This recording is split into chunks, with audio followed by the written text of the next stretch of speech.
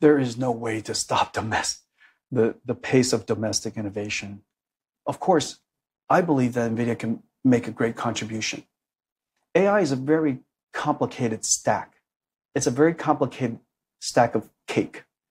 Underneath are chips, then there are systems, networking technology, AI infrastructure software, AI algorithm, and then the applications and services on top. That entire stack is extraordinarily complex. On the one hand, it requires all of the innovation across that stack to advance AI.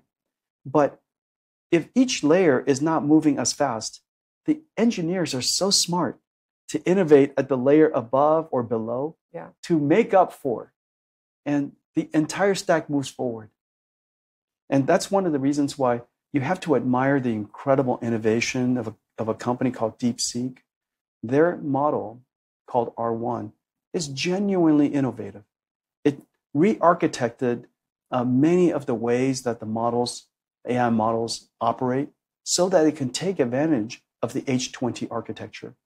And so that's a very innovative thing. As a result, they achieved world class results, even though uh, they were built on H20s. And so researchers and developers, they could adjust to each one of the layers.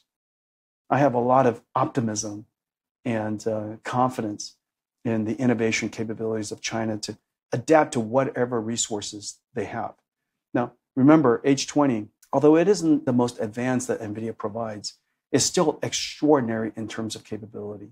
You know, it is the, the architecture that defined, that created, if you will, the AI revolution. And so today, it's still extraordinarily good.